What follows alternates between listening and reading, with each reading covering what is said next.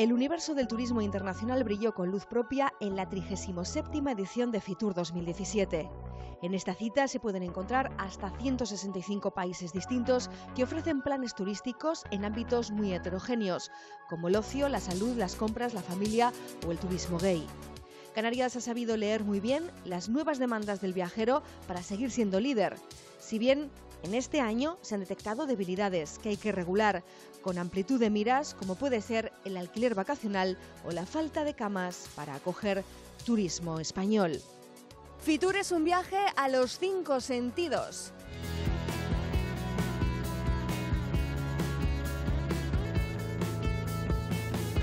También es un viaje alrededor del mundo sin movernos del epicentro de Madrid. Fitur nos permite diagnosticar y comprobar la evolución del turismo nacional.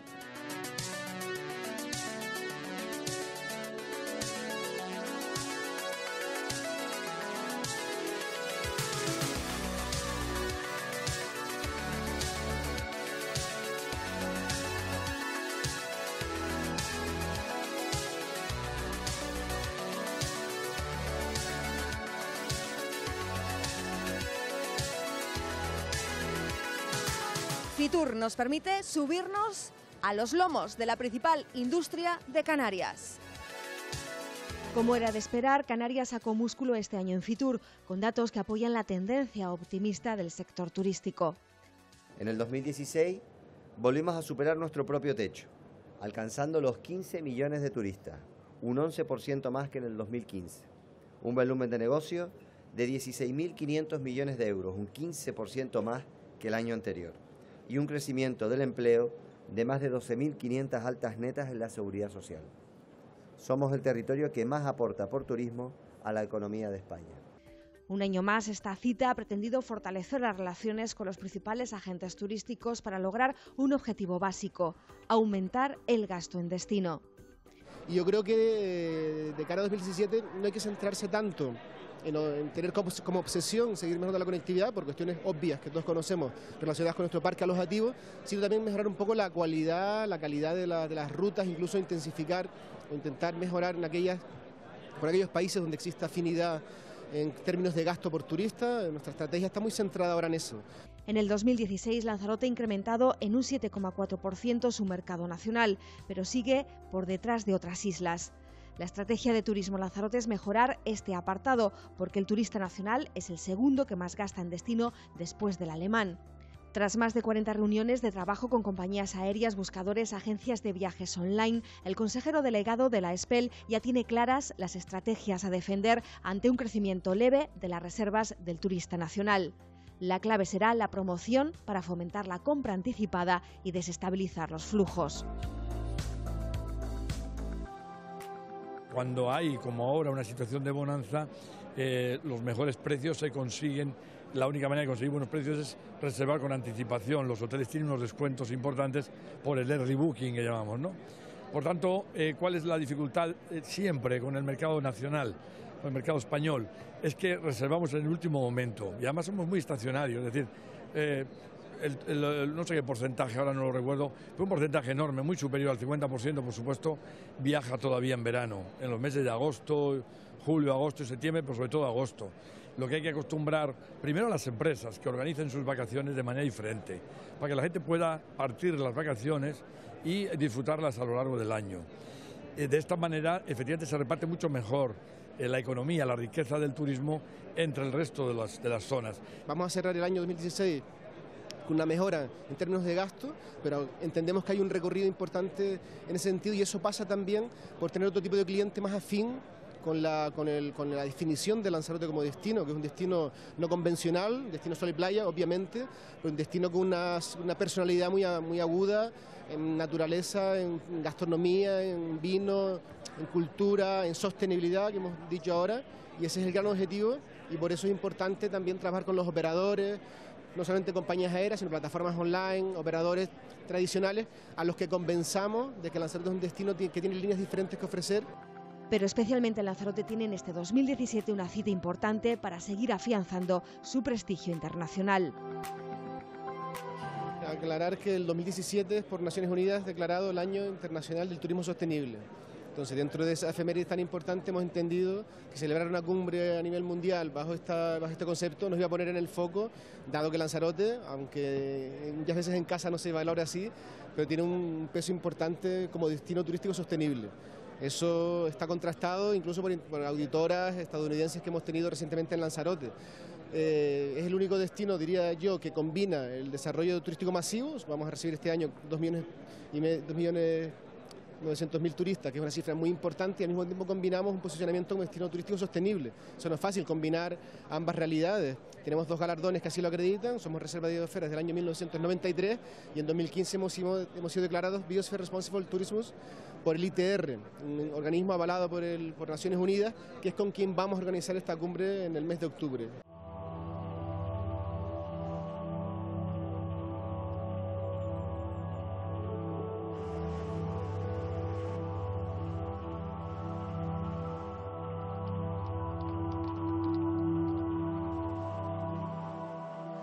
Que se les sigue esperando con un flujo constante es a los británicos, que por ahora no parecen afectados por el Brexit con respecto al buen ritmo de sus reservas si bien Turismo Lanzarote prefiere curarse en salud y ampliar sus contactos con otros destinos emisores emergentes. Este es el caso del turismo polaco, que ha crecido un 24% en 2016, el francés, que tiene en Lanzarote a su segunda isla favorita de Canarias, y el nórdico, que mejora un 8% en el próximo invierno gracias al crecimiento que prevé TUI La hoja de ruta del Cabildo es expandir la riqueza que genera el turismo y para eso ha echado mano de las estadísticas. Estas dicen que el gasto medio en destino de los turistas es de unos 125 euros, pero que solo 35 de ellos quedan en Lanzarote. Para aumentar es necesario segmentar, o lo que el consejero de Turismo Eche de Eugenio llama trabajar el producto luego no nos podemos dormir. Tenemos una situación en los países o en los destinos competidores eh, que, beneficia a Lanzarote, que beneficia a Canarias. Y es un momento, el de la bonanza turística, para reflexionar y para trabajar en la línea en la que queremos crecer. Yo creo que Lanzarote, ahora que quiere la gente venir a Lanzarote, tiene que reflexionar sobre qué turista quiere.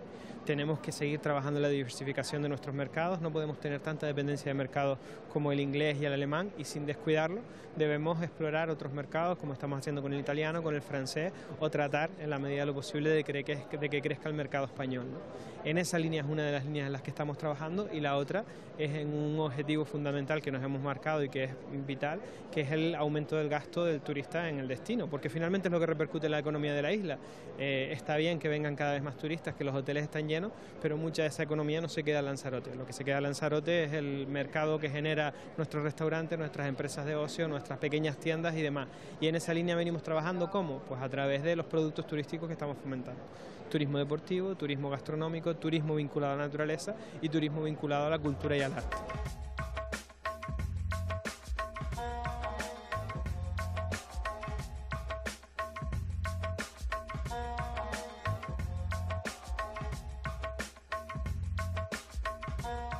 Lanzarote llegaba a Fitur para mantener contactos y cerrar acuerdos, pero también para medir el efecto de sus estrategias en promoción turística.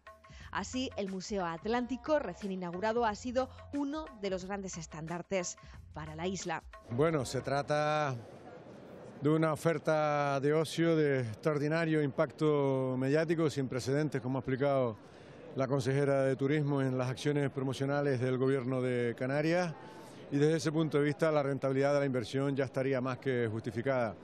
A partir de ahora se trata de, insistir en el mensaje que además traslada este Museo Atlántico eh, muy acorde con una isla reserva de la biosfera como es la biodiversidad marina en este caso, con un mensaje vinculado al arte y la, cultura que representa Jason eh, de Kers y estamos encantados porque el buceo genera mucho gasto en, destino y de esto es de lo que se trata, no solamente el día que van al museo, sino la semana que están en la isla practicando buceo este potencial eh, turista.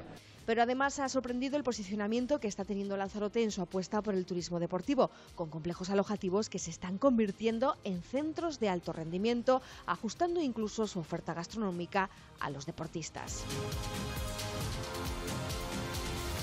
hemos presentado en Fitur, bueno, lo hemos traído con nosotros, el calendario de eventos de European Sport Destination para 2017.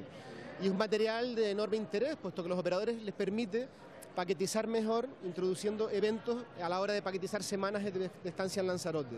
Le conceden un gran valor, puesto que a ellos le da mucha flexibilidad y mucho valor el paquete vacacional a Lanzarote. Y ellos también observan que su cliente en Europa empieza a demandar vacaciones donde el, deporte tenga una presencia activa, es decir, la posibilidad de participar en un evento, la, posibilidad de, de contratar un hotel que tenga eh, excursiones organizadas, monitorizadas de bicicleta, por ejemplo, que tenga un buffet de, de bajas calorías, que tenga un monitor que le adecue un plan de, de entrenamiento personal en clave funcional, por ejemplo, son las líneas, las tendencias que hay ahora. En materia vacacional son esas y los operadores están entendiendo eso, una gran oportunidad. La fuerte apuesta cultural por la que están apostando los CATS con productos que han tenido una excelente acogida como Tempo Lanzarote o la obra teatral El hombre duplicado fueron otros estandartes de la marca Lanzarote Sostenible. A nosotros es central y siempre lo ha sido en los centros. Eh, hemos tenido una etapa que quizá eh, pues no lo hemos trabajado tanto, pero la cultura es central en la propuesta de los centros. Y cada vez que eh, hacemos eh, producciones, que ahora ya somos productores de, cine, de teatro, eh, pues cada vez vemos que, que, que, estamos acertando yendo por esa vida, porque es el elemento diferencial, es el elemento eh, que realmente complementa la obra espacial de César, la obra de los centros, y hace que la gente, el disfrute sea máximo dentro de nuestros espacios. Mm, ya el auditorio, permítame poner ejemplo, es maravilloso, pero si en el auditorio ves una obra de teatro de Saramago, que la acabamos de estrenar, y que ha sido un éxito en toda España a nivel mediático y en toda Hispanoamérica. Y se vuelve a cumplir uno de nuestros deseos, que es que poder llevar esta adaptación de Saramago a todo el territorio nacional y a Hispanoamérica y que vaya Lanzarote con ella, porque es algo que ha nacido y que se ha impulsado desde el auditorio. Hoy me llegaban los datos, 904 personas llenaron nuestro auditorio y hemos tenido una recaudación muy aceptable y es lo difícil que es en Lanzarote, eh, pues que nos movamos con toda la oferta que tenemos. Estamos muy contentos, se está organizando una gira canaria también de esta obra eh, y bueno, vuelvo que la cultura es central en los centros y cada vez que, eh, por ejemplo, las propias imágenes de, la inauguración del Museo de la belleza de, una buena imagen, eso es Lanzarote y eso conmueve a gente por todo el mundo y sale fuera de nuestras pequeñas fronteras. La gastronomía es otro puntal de la promoción insular, donde la marca Saborea Lanzarote ha desempeñado un papel crucial incluso como referencia en otras islas. Lo que estamos intentando hacer en esta feria es demostrar que en Canarias efectivamente hay algo más que sol y playa y por lo tanto eh, que apuesten por los productos de calidad diferenciada de las islas. Estamos hablando de productos como los vinos, los quesos, el gofio, incluso aceites, mieles, nuestras papas reconocidas incluso como uno de los mejores productos a nivel gastronómico en España y eh, tienen una variante porque, digamos, tienen sellos de calidad diferenciada. Nosotros podemos apostar perfectamente por esa calidad, no por cantidad, y porque bueno, las, las características de nuestro territorio, nuestro suelo, nuestro clima hace que las sepan diferente.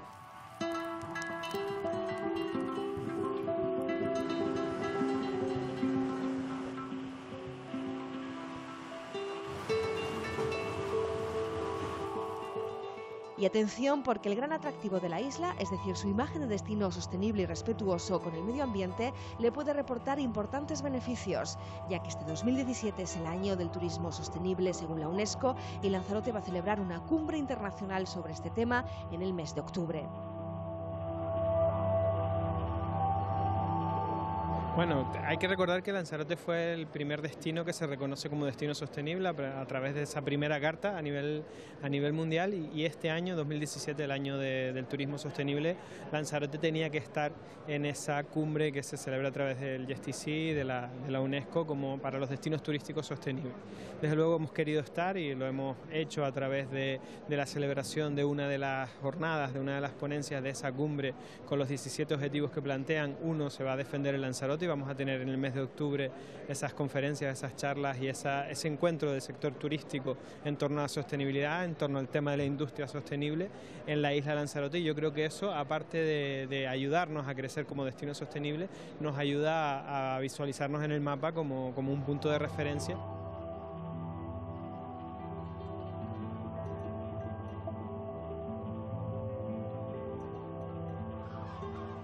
El nuevo marco jurídico y el limbo existente que ha provocado la nueva realidad del alquiler vacacional llevó a la consejera de Turismo del Gobierno de Canarias, María Teresa Lorenzo, a mantener un encuentro con representantes del Gobierno vasco y balear en Fitur, que están desarrollando, por cierto, ajustes en sus respectivas normativas para mantener una regulación equilibrada. No se puede legislar sin mirar las tendencias del mercado, la, demanda, lo que piden los clientes, que son en definitiva a quienes debemos de, de atender, ¿no?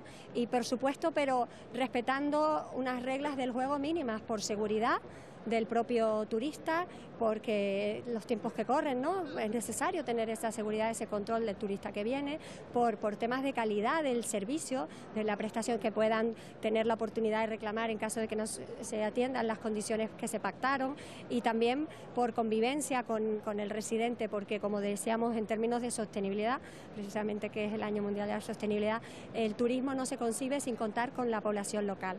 Por tanto, hay que conjugar ambos intereses, pero sobre todo eh, que el turismo dé oportunidades a la población local y que no sea una molestia para su vida actual. La posibilidad de que la RIC pueda ser utilizada para el alquiler vacacional también ha incluido un nuevo factor que debe ser analizado por el Gobierno regional, ya que este podría incidir negativamente en el aumento de la competencia desleal. Las condiciones y los requisitos pues no es lo mismo porque la normativa no es igual para un apartamento turístico que para una vivienda vacacional. Por tanto, equilibrio, equilibrio en los requisitos y porque lo que estamos vendiendo al final es imagen de Lanzarote, imagen de un alojamiento. Y, ya digo, hay que diferenciar de lo que es o también pues en personas o propietarios que tengan una o dos viviendas a lo que realmente es una empresa o intermediarios, mm, inmobiliarias o agencias que tienen un conjunto de, viviendas vacacionales y que sin lugar a dudas es una actividad, es una actividad económica. Los ayuntamientos con más peso turístico acudían a Fitur bajo el paraguas de la Sociedad de Promoción Exterior de Lanzarote, pero con estrategias particularizadas. Así, la concejal de Turismo de Aría, Soraya Brito, destacaba el Festival Malabaría, que lograba movilizar durante tres días a 2.000 personas en torno al arte circense. La área extrem y el ecoturismo son otras de las apuestas seguras que han convertido al norte insular en un municipio emergente en su oferta turística.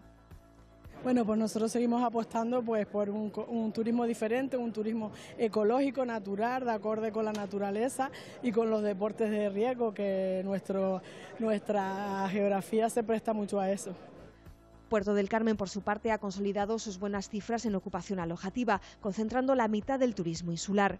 Su apuesta para seguir fidelizando visitantes se apoya en el plan de modernización, el embellecimiento de la zona de la Tiñosa y la celebración de su 50 aniversario.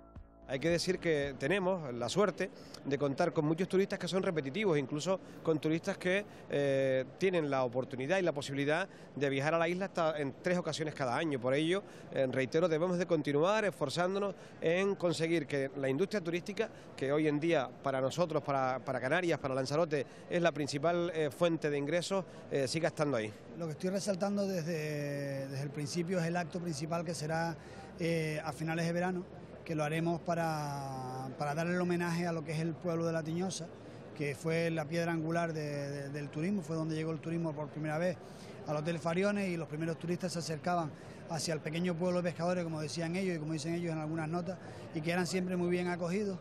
Y entonces, pues el acto principal para mí, pues es un acto de reconocimiento, pues a lo que es el pueblo, Puerto del Carmen, ¿no? de La Tiñosa, y, y, que sea eso, ¿no? Un acto que acojamos eh, a todos esos turistas de hace 40, 50 años, a, la gente mayor del pueblo, un acto que se reconozca todo esto. Luego está previsto también la grabación de un documental en el que se va a recoger las voces pues, de la gente mayor del pueblo, así mismo como las voces de, turistas que llevan viniendo a la isla muchísimos años, también para que, para que se vea, y será un documental subtitulado en inglés, para que se pueda llevar a todos lados, que la gente conozca, tenemos 50 años de historia.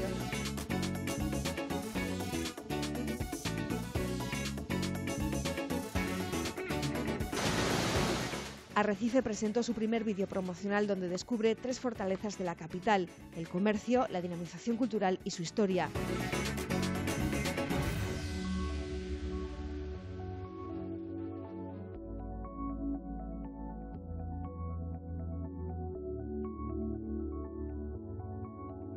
Objetivo siempre es el mismo, que aquí todos los que nos visiten pues estén uno o dos días en la, en la ciudad, o bien haciendo compras, o bien disfrutando de cada vez mm, los museos, que cada vez tenemos más, estamos pendientes de seguir incrementándolo, o pasar un día en la playa. En definitiva, ese es el, objetivo. Y el turismo urbano, desde luego los hoteles que están en la ciudad, en estos momentos eh, pues están trabajando pues casi al completo durante todo este año, el año pasado y espero que a lo de este también. La puesta en marcha en febrero de dos trenecitos turísticos por parte de la multinacional City Sightseeing en la capital fue una de las sorpresas de este año en Fitur. Em, dentro del plan de expansión que tenemos como City Sizing en, Canarias, uno de los lugares que, habíamos marcado en nuestra agenda como importantes era Recife.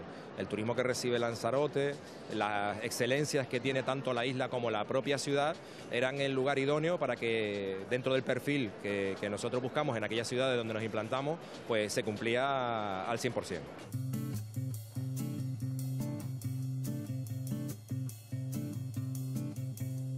Teguise también saca pecho con cambios previstos en la agenda de su concejal de turismo, Antonio Cayero, que presentó una playa saludable en la que practicar deporte. Aquí en Fitur hemos venido a vender muchísimas cosas. Yo creo que Teguise propone desde el aspecto cultural que tenemos en el casco histórico de Teguise, como el tener la octava isla, que en todas las reuniones de los operadores pues llama muchísimo la atención y pregunta muchas cosas de, esa joya que tenemos en el propio municipio y las escuelas deportivas. Pero traemos un nuevo concepto que es lo que es la playa saludable o la avenida. Estamos hablando de que Costa Teguise tenemos una avenida, una avenida, eh, bueno, que hay una parte que ahora viene con, con el tema del nuevo proyecto de las cucharas, que se va a mejorar mucho, pero hay una parte que está espectacular que es lo que eh, para la gente de Lanzarote sería desde la Casa del Rey hasta la zona de Playa Bastián.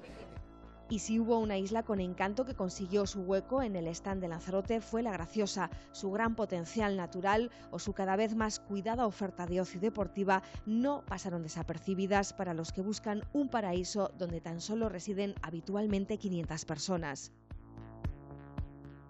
La verdad es que cada día hay más oferta turística en la isla de la Graciosa y y como capacidad realmente no tenemos tanta capacidad como para alojar a tanto turista. La verdad que gracias a las compañías marítimas mm, tenemos capacidad para que pasen el día y luego se vuelvan a ir por la tarde y ya pues pueden hacer actividades de excursión, senderismo, eh, actividades acuáticas como lo que me dedico yo, pues kitesurf, paddle surf, ir a, hacer surf, precisamente a surfear. Eh, eh, salidas con kayak, bicicletas, hacer rutas en bicicletas por un parque natural precioso, submarinismo, cada vez la oferta turística de La Graciosa es casi comparable a la de cualquier otro sitio en 27 kilómetros cuadrados, ¿no? Está claro que no podemos pretender eh, lo, que, lo que no somos.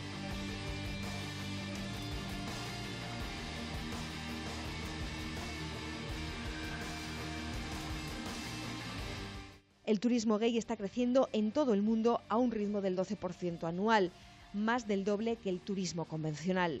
Además, este segmento se ha convertido en el primer emisor de turistas del mundo en función del gasto, ya que acumula más del 15% del total. En el archipiélago, la hegemonía sobre este turista lo tiene Gran Canaria. Es muy importante que también que segmentos como este, de alto poder adquisitivo, que genera mucho gasto también en la isla, bueno, tengan como referencia un destino como Gran Canaria. Desde luego trabajamos mucho también eh, desde hace muchos años de manera muy estrecha con las organizaciones que fomentan este tipo de turismo y vamos a seguir haciendo.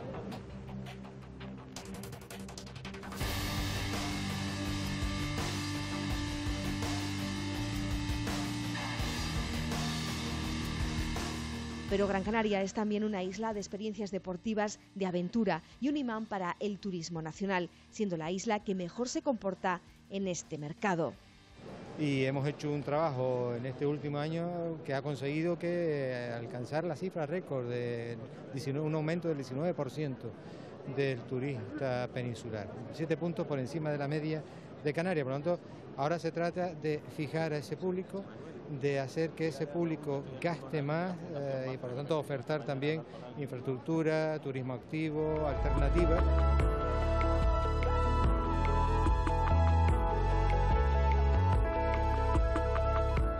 Este año Tenerife se ha marcado el reto de ser líder en el mercado turístico canario, apostando por la rehabilitación. Solo, por ejemplo, en el caso del sector privado, eh, se, va a producir una inversión muy importante en recualificación del destino. Vamos a rehabilitar aproximadamente el 25% de todas las camas de la isla de Tenerife. Además, es un proceso de mejora de la calidad que hace que, eh, pues, de aquí a, a, dos años, vamos a aumentar en un 50% el número de camas en cinco estrellas cinco estrellas en lujo.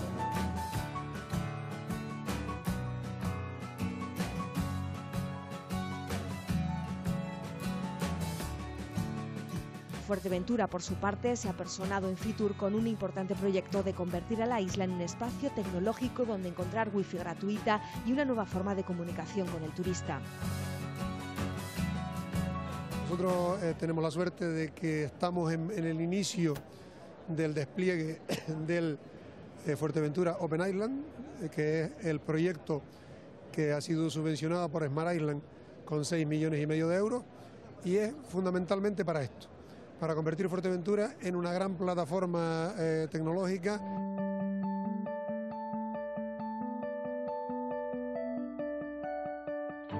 La Palma quiere potenciar el turismo de las estrellas, pero también ha tomado como referencia la red de centros del Cabildo de Lanzarote para impulsar sus tres nuevas atracciones turísticas.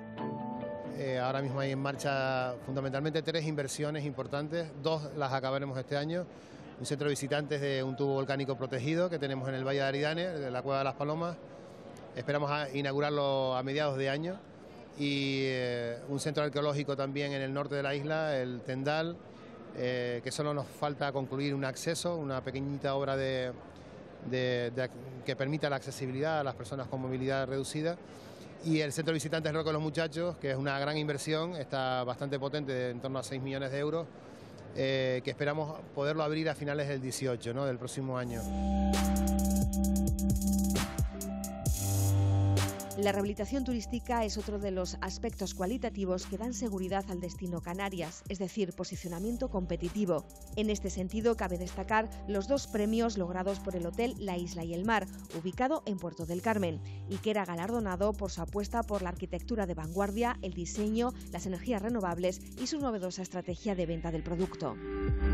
Este año nos vuelven a conceder, tenemos esa gran suerte Pensábamos que el habernos presentado con el proyecto de memoria de arquitectura el primer año en la categoría TS Media, como era un hotel de nueva construcción, pues teníamos muchas posibilidades y en el segundo nos hemos presentado a la categoría de Rethink, que es eh, otro, bueno, dentro del mismo concurso, siempre tienes que aportar las novedades que has hecho durante la trayectoria que llevas abierto. Entonces nosotros dentro de las certificaciones pues somos eh, Hotel Biosfera, Smart Hotel, eh, Estábamos bueno, con, con algunas certificaciones de, ISO, ¿no? empezando. Luego también muy importante y valoraban muchísimo en este, en este nuevo concurso la obra social que hace la compañía y hemos metido nuestra obra social a través de la fundación del grupo Martínez Hermanos. Entonces un poco todo eso, ¿no? aparte de explicar muy bien la estrategia de marketing, eh, el que supone un hotel eh, sostenible, hacer la, las comparativas ¿no? en cuanto a números de ahorro y, bueno, y cómo han ido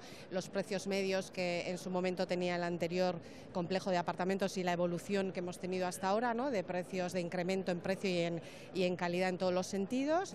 Que realmente orgullosos de haber recibido este premio porque es un esfuerzo muy grande y sobre todo porque tenemos un equipo humano bastante importante y hace que, que, que recibamos este, este premio sobre todo.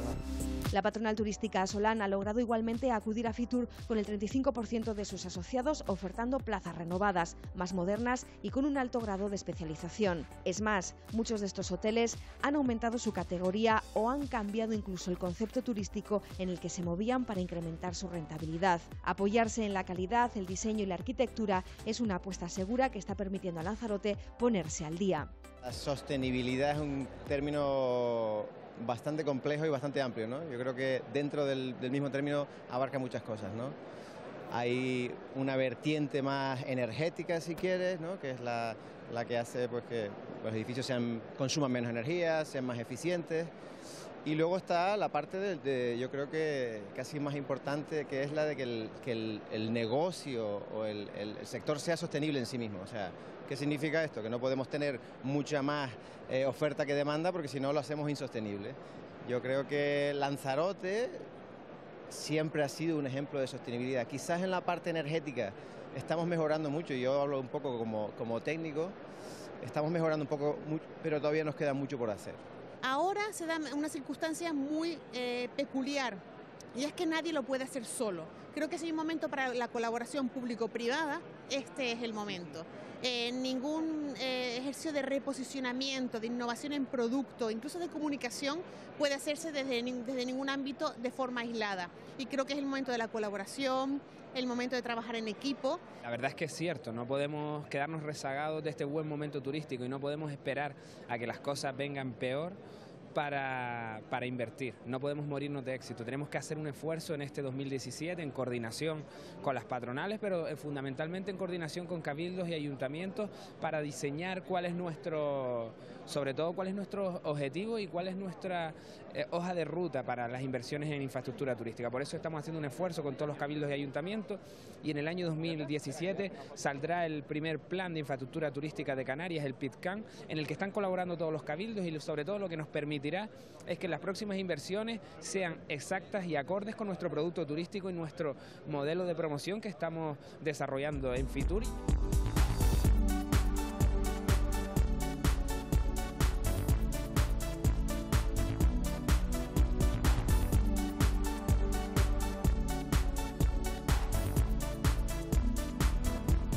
Fitur 2017 ha sido la feria en la que se comprueba cómo el clásico folleto es sustituido por las nuevas tecnologías, especialmente con fórmulas que emocionan al espectador.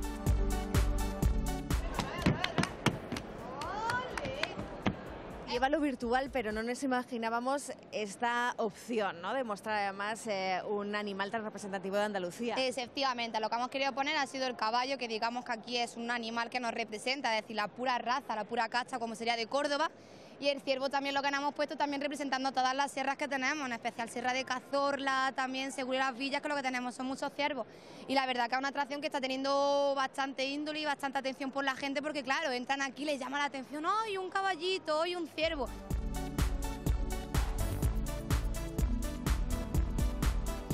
Fitur 2017 nos está mostrando esa cara práctica de la innovación y de la aplicación de las nuevas tecnologías. Nos hemos trasladado hasta Castilla y León, donde nos ofrecen un itinerario muy especial. En concreto, un viaje en globo. ¿Por dónde? Ahora mismo estoy en la Plaza Mayor de Salamanca. Y, y bueno, voy montada en un globo estático, voy pasando la Plaza Mayor Ahora voy a León, voy viendo los viñedos. Me está hablando un amigo mío que va conmigo en el globo estático. Sigo viendo viñedos. Oye, qué experiencia más buena. Hemos visto que muchísima gente ha querido probar, porque claro, es una manera virtual, lógicamente, de viajar, pero al fin y al cabo de hacerse una idea muy realista, ¿no? Sí, desde luego, es que me da hasta vértigo, porque voy montada en un globo y parece que me, parece que me voy a caer para abajo. Menos mal que sé que estoy en Fitur y que no va a pasar nada. Y con ideas que resultan inspiradoras para aplicar en Lanzarote, como los 400 kilómetros para bicicletas de Madrid.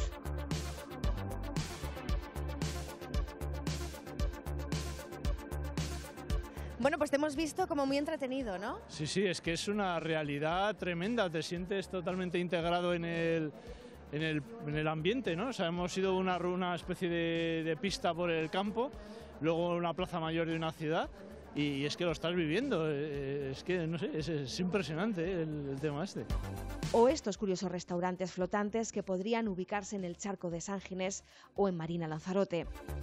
Pues tenemos diferentes tipos de servicios. El más básico es rent, o sea, alquiler puro. Tú alquilamos la embarcación y se sube, pues, te subes con la familia, con tus amigos y te das una vueltita, paseo turístico, vas a una, visitar una cala y hasta la experiencia gourmet, que tenemos un chef a bordo y te da alta gastronomía, te hace una cata de vinos, eh, etcétera. Proveemos también de, de comida para, para la barbacoa, para que la podamos usar nosotros mismos.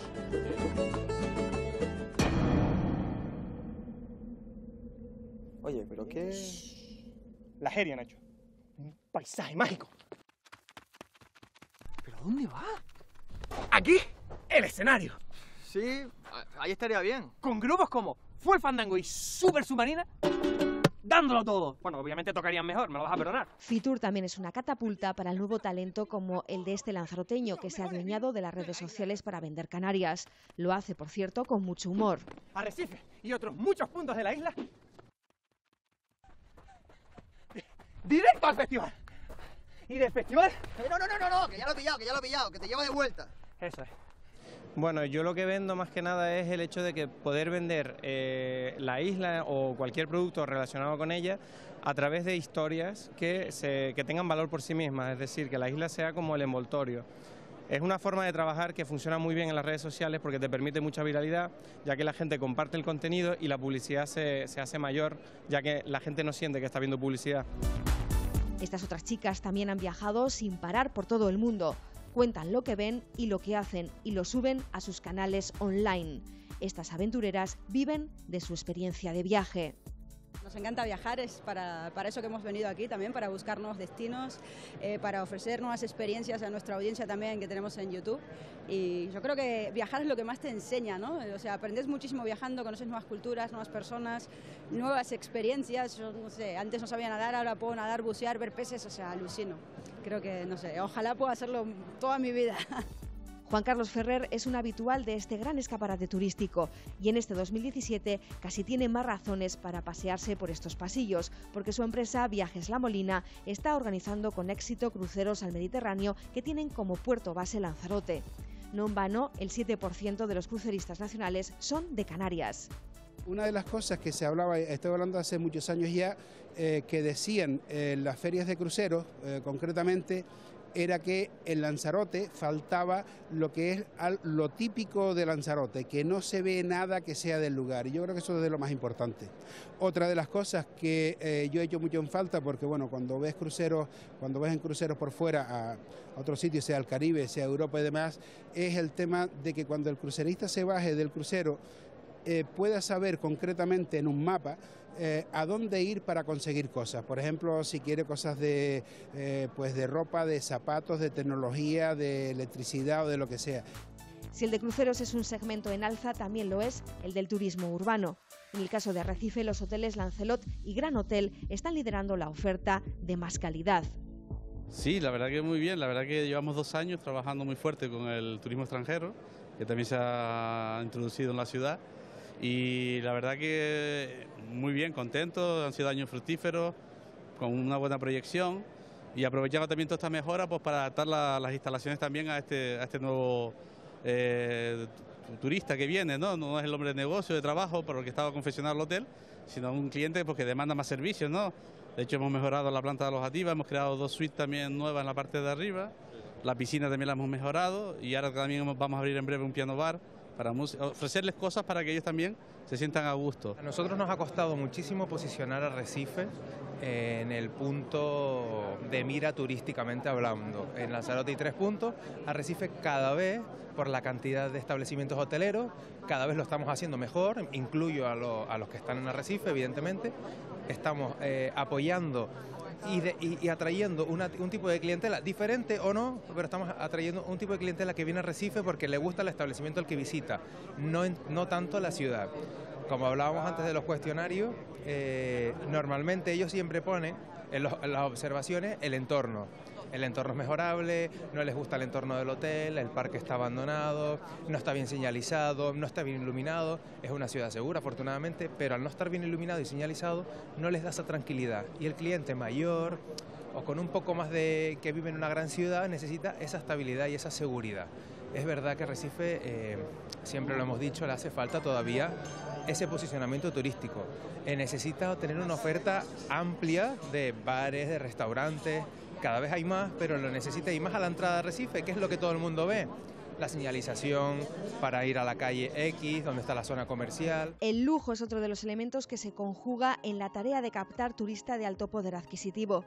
En este sentido, el Hotel Princesa Yaiza en Playa Blanca es uno de los valores seguros, al igual que el Hotel Fariones, que se encuentra en plena reconversión y que se va a convertir en menos de un año en un hotel de cinco estrellas. Sí, vamos a hacer una reforma integral Vamos a, reducir el número de habitaciones, pero vamos a ganar en espacio y en categoría de habitaciones crearemos habitaciones royal, reales, presidenciales y crearemos más habitaciones suites, es decir, que vamos a darle mucho más espacio al cliente. Al mismo tiempo vamos a aumentar la oferta gastronómica, incluyendo tres restaurantes a la carta, un restaurante asiático, una zona de chilao y también ya estamos viendo la posibilidad de incluir una, un atarazo, un spa, para también pues, darle más servicio a los clientes y mejorar. Igual también vamos a hacer una zona de cama balinesa para dar tratamiento y un servicio un poquito más exclusivo.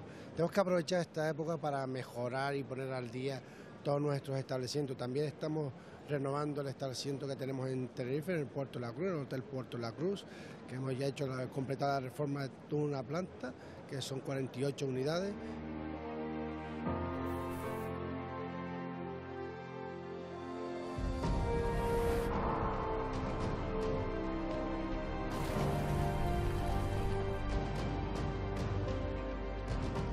Que el turista llega a Lanzarote, ¿por qué tipo de transporte se decanta? Desde el aeropuerto de Guacimeta son múltiples las opciones.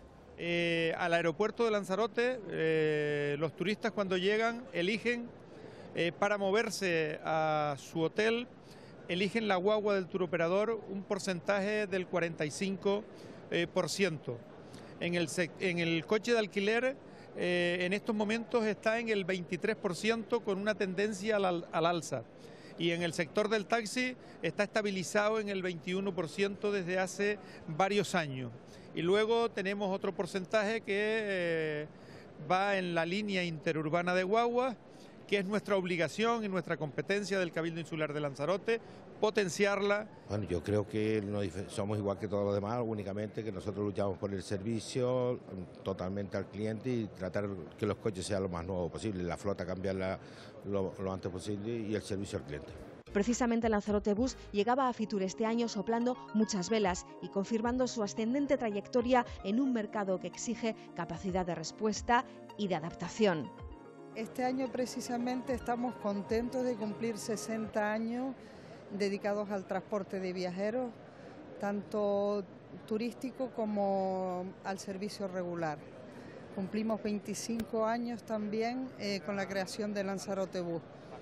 Y en cuanto a las mejoras, eh, pues bueno, siempre estamos en continua renovación. El año pasado hemos eh, adquirido 28, perdón, 8 vehículos nuevos Em, ahora a principio de año nos llega una guagua de doble piso con 86 plazas y con la intención de seguir renovando pues con la misma línea del año pasado.